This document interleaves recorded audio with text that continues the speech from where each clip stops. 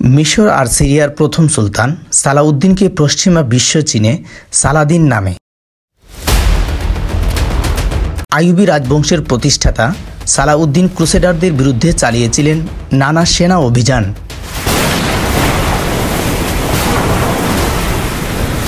তার সালতানাতের অধীনে ছিল মিশর, সিরিয়া, উত্তর ইরাক, হেজাজ, ইয়েমেন ও উত্তর আফ্রিকার কিছু অংশ।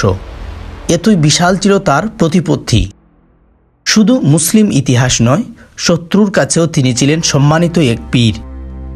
যারা বীর সালাদিন সম্পর্কে নামটি কেবল শুনেছেন কিংবা কিংডম অফ হেভেন দেখা পর্যন্তই যাদের জানাশোনা, তাদের জন্যই আজকের মূলত আমাদের এই আয়োজন।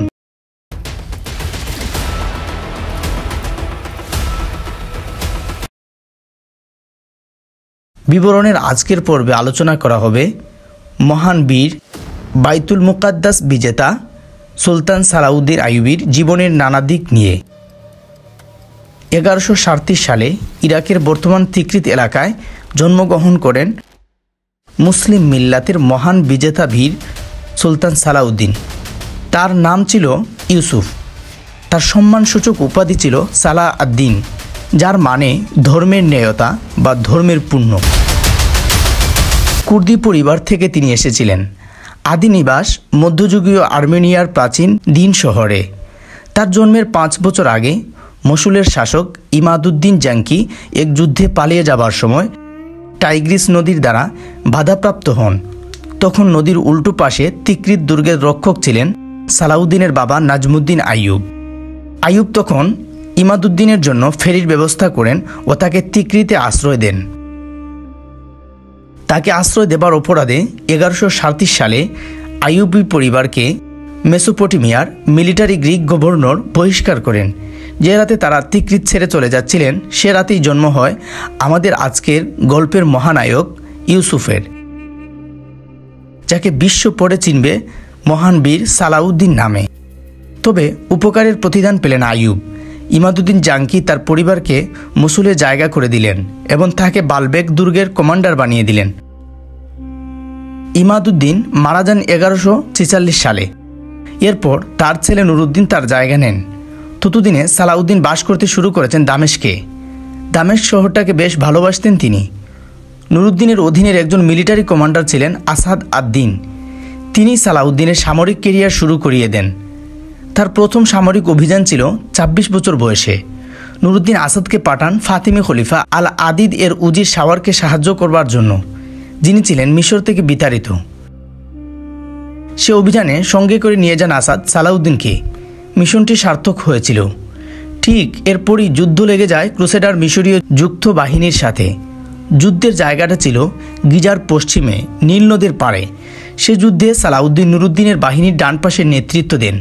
বলা হয়, সালাউদ্দিনের বুদ্ধিতে প্রথম বাহিনী হেরে যাবার ভান করে প্রস্থান করে এবং এরপর অতর্কিত আক্রমণ করে বিজয় চিনিয়ে আনে সালাউদ্দিনের বাহিনী। এ বিজয়কে ইবনে আল আসিরের মতে ইতিহাসের অন্যতম সেরা বিজয় বলা হয়। ফাতিমি খলিফা আল আদিদের উজির শাওয়ারের সাথে ক্ষমতা নিয়ে দ্বন্দ্ব চলছিল আসাদের। ওদিকে জেরুজালেম রাজ্যের এমালোরিক দা ফার্স্টের সাথেও। শাওয়ার সাহায্য চাইলেন এমালোরিকের কিন্তু এগারোশো উনসত্তর সালে শাওয়ার নিহত হন গুপ্তঘাতকের হাতে। বলা হয় সেটি সালাউদ্দিনের কাজই ছিল। সে বছর আসাদও মারা যান। তখন নুরুদ্দিন আসাদের একজন স্থলাভিষেক থেকে বাছাই করলেও উজির হিসেবে খলিফা আল আদিদ সালাউদ্দিনকেই নিয়োগ দিলেন। দিনটি ছিল ২৬ মার্চ। একদল মিশরীয় সেনা আর আমিরের ষড়যন্ত্রে গুপ্ত হত্যার মুখে পড়েন সালাউদ্দিন। কিন্তু গোপন সূত্রে তিনি আগেই খবর পেয়ে গিয়েছিলেন। হুতা ছিল ফাতিমি প্রাসাদের সেভিলিয়ান কন্ট্রোলার। তাকে গ্রেপ্তার করে হত্যা করেন সালাউদ্দিন। পরদিন ফাতিমি বাহিনীর পঞ্চাশ হাজার কৃষ্ণবর্ণী সেনা বিরোধিতা করে সালাউদ্দিনের। এগারোশো উনসত্তর সালে নুরুদ্দিনের সহায়তার বিশাল এক ক্রুসেডার আর্মিকে পরাজিত করেন সালাউদ্দিন। সালাউদ্দিন তখন মিশরে নিজের ঘাঁটি শক্ত করেছেন। নিজের আত্মীয়দের উচ্চপদ দিলেন তিনি। মালিকি ও নিজের সাফি মাঝহাবের জন্য কলেজ প্রতিষ্ঠা করেন সালাউদ্দিন তার শহরে। এগারোশো একাত্তর সালে নুরুদ্দিনের চিঠি পেলেন সালাউদ্দিন। তিনি যেন মিশরে আব্বাসীয় খেলাফত প্রতিষ্ঠা করেন। লোহিত সাগরের তীরে আকাবার মন্ট্রিল দুর্গ আর কারাক শহর আক্রমণের জন্য সামরিক অভিযানের উদ্দেশ্যে সে বছরের পঁচিশ সেপ্টেম্বর মিশর ত্যাগ করলেন। সিরিয়া থেকে যোগ দিলেন নুরুদ্দিন। কিন্তু ফাতিমীয় ক্রুসেডারদের ষড়যন্ত্র নিয়ে খবর শুনতেই সালাউদ্দিন ফিরে এলেন কায়রুতে। নুরুদ্দিন একাই গেলেন। এগারোশো চুয়াত্তর সালের গ্রীষ্মে কোনো এক কারণে নুরুদ্দিন বিশাল এক বাহিনী জোগাড় করছিলেন। আইয়ুবিরা ভাবতে লাগল, এ বাহিনী কি তবে কায়রো আক্রমণের জন্য? সালাউদ্দিনকে কি হুমকি ভাবছে নুরুদ্দিন? কিন্তু পনেরো মে হঠাৎ নুরুদ্দিন অসুস্থ অবস্থায় মারা যান। ক্ষমতা চলে যায় তার পুত্র সালি ইসমাইলের কাছে। তখন তার বয়স মাত্র এগারো বছর। সালাউদ্দিনের সামনে তখন কয়েকটি অপশন ছিল। তিনি নিজেই কি ক্রুসেডারদের আক্রমণ করে বসবেন, নাকি এগারো বছরের বালকের কথার আশায় বসে থাকবেন? এগারোশো সাতাত্তর সালে সালাউদ্দিনের বাহিনী এত শক্তিশালী হয়ে গেল যে ক্রুসেডারদের ত্রাস হয়ে গেলেন তিনি। এগারোশো সাতাশি সাল পর্যন্ত তিনি ক্রুসেডারদের পাশাপাশি নিজের সাম্রাজ্য বিস্তার করতে থাকেন।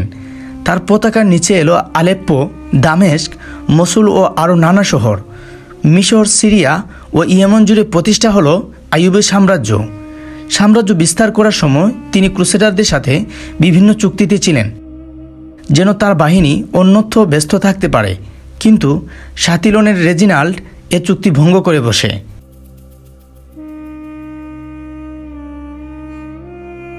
ক্রুসেডাররা জেরুজালেম অধিকার করেছিল বহু বছর।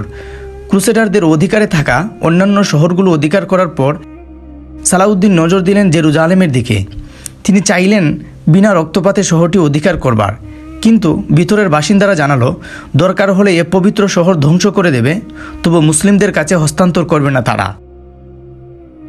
জেরুজালেমের বালিয়ান অফ এবেলিন হুমকি দিল, যদি জেরুজালেমের খ্রিস্টান অধিবাসীদের মুক্তিপণের বিনিময়ে মুক্তির শর্ত মেনে না নেওয়া হয় তবে ভেতরের জিম্মি পাঁচ হাজার মুসলিমকে এক এক করে হত্যা করা হবে এবং মুসলিমদের পবিত্র মসজিদুল আকসা ও ডুম অফ দ্য রক ধ্বংস করা হবে। সালাউদ্দিন মেনে নিলেন। খ্রিস্টানদের যে মুক্তিপণ তিনি ধার্য করলেন, সেটা আজকের হিসাবে চার হাজার টাকা মাত্র। এগারোশো সাতাশি সালের সেপ্টেম্বরের বিশ তারিখ শুরু হওয়া সালাউদ্দিনের হাত্তিন যুদ্ধ ফেরত বিশ হাজার সেনা কর্তৃক জেরুজালেম অবরোধ করা শেষ হয় অক্টোবরের দুই তারিখ। সেদিন আত্মসমর্পণ করে জেরুজালেম। শেষ হয়ে গেল কিংডম অফ জেরুজালেম। জেরুজালেম জয় করে নিলেন সালাউদ্দিন।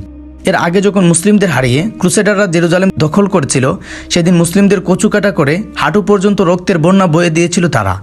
তাই তারা আশঙ্কা করছিল, সালাউদ্দিন চুক্তি ভঙ্গ করে এমনটা করবেন কি না না তিনি তা করেননি। তিনি যারা ক্ষতিপূরণ দিয়েছিল, তাদের তো যেতে দিলেনি, যারা দিতে পারেনি, তাদেরও বিনা মুক্তিপূর্ণে চলে যেতে দিলেন। জেরুজালেম বিজয়ের পর সালাউদ্দিন প্রাক্তন ইহুদি বাসিন্দাদের বললেন, তারা শহরে ইচ্ছে মতো আবার বসবাস করতে পারে। হয়তো ভাবছেন, কাহিনী এখানেই শেষ, কিন্তু না। জেরুজালেম জয় করতে গিয়ে সালাউদ্দিন একটা বিশাল ভুল করেছিলেন। সেটি হলো, তিনি খ্রিস্টানদের টায়ার শহর জয় না করেই এদিকে এসেছিলেন। ইসলামে বেশি গুরুত্বপূর্ণ জেরুজালেম জয়ের জন্য তার আর সই ছিল না। জেরুজালেম পতনের পর ইংল্যান্ডের রাজা রিচার্ড দ্য লায়ন হার্টের উদ্যোগে ও অর্থায়নে শুরু হয় থার্ড ক্রুসেড। টায়ার শহর থেকে খ্রিস্টানরা যোগ দিল তার সাথে। আকরা শহরে মুসলিম বাহিনীকে পরাজিত করে রিচার্ডের বাহিনী। নারী ও শিশুসহ প্রায় তিন হাজার বন্দি মুসলিমকে হত্যা করে রিচার্ড। এরপর এগারোশো একানব্বই সালের সাত সেপ্টেম্বর আরসুফ যুদ্ধে সালাউদ্দিনের বাহিনীর মুখোমুখি হয় রিচার্ড। সে যুদ্ধে ব্যাপক ক্ষয়ক্ষতির সম্মুখীন হন সালাউদ্দিন। যুদ্ধক্ষেত্র ত্যাগ করতে বাধ্য হন সালাউদ্দিন ও তার বাহিনী। রিচার্ড জাফা শহর দখল করে নেয়। ওদিকে সালাউদ্দিন মিশর ও ফিলিস্তিনের মাঝের আসফালন শহরের নিরাপত্তা বাড়িয়ে দেন, যেন ক্রুসেডারদের হাতেই এর পতন না হয়। তারা দুজন শান্তি চুক্তির পথ খুঁজতে লাগলেন। রিচার্ড প্রস্তাব দিল, রিচার্ডের বোন সিসিলির রানী জোয়ানকে সালাউদ্দিনের ভাই বিয়ে করুক, আর বিয়ের উপহার হিসাবে জেরুজালেম দিয়ে দেওয়া হোক। সালাউদ্দিন এ প্রস্তাব উড়িয়ে দিলে, রিচার্ড বলল, সালাউদ্দিনের ভাই যেন খ্রিস্টান হয়ে যান। এগারোশো বিরানব্বই সালে রিচার্ড জেরুজালেম থেকে বারো মাইল দূর থেকেও জেরুজালেমে আক্রমণ করল না, বরং আসকালনের দিকে গেল। ওদিকে সালাউদ্দিন গেলেন জাফা পুনরুদ্ধার করতে, প্রায় করেই ফেলছিলেন। কিন্তু আসফালন থেকে ছুটে এলেন কিং রিচার্ড এবং সালাউদ্দিনকে পরাজিত করলেন শহরের বাইরের এক যুদ্ধে। এটাই ছিল থার্ড ক্রুসেডের শেষ যুদ্ধ। সালাউদ্দিনকে মেনে নিতে হলো রিচার্ডের শর্তগুলো। টায়ার থেকে জাফা পর্যন্ত ক্রুসেডারদের অধীনেই থাকবে। মেনে নিলেন যে খ্রিস্টান তীর্থযাত্রীরা বিনা অস্ত্রে জেরুজালেম ভ্রমণ করতে আসতে পারবে। তিন বছর পর্যন্ত কেউ কাউকে আক্রমণ করবে না। মাইকেল হ্যামিল্টনের লস্ট হিস্টোরি বইতে আমরা জানতে পারি, এগারোশো বিরানব্বই সালে আক্রা আক্রমণের সময় রিচার্ড অসুস্থ হয়ে পড়ে। তখন সালাউদ্দিন শত্রু রিচার্ডের চিকিৎসার জন্য নিজের ব্যক্তিগত ডাক্তারকে পাঠিয়ে দিয়েছিলেন। জ্বর নিয়ন্ত্রণে রাখবার জন্য বরফ পাঠান, তাছাড়া ফলফলাদিও পাঠান।